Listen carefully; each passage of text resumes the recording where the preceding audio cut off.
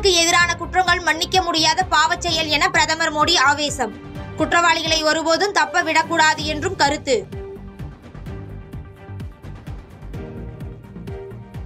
போலி பேராசிரியர்கள் விவகாரத்தில் தனியார் பொறியியல் கல்லூரி மீது குற்றவியல் நடவடிக்கை.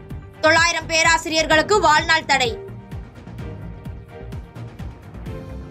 பாதகம் செய்பவரை கண்டால் நாம் பயங்கொள்ளலாகாது பாப்பா. மோதி மிதித்து விடு பாப்பா அவர் முகத்தில் உமிழ்ந்து விடு பாப்பா. அண்மை செய்திகளை உடனுக்குடன் தெரிந்து கொள்ள இணைந்திருங்கள் இயம்நாடு தொலைக்காட்சியுடன்.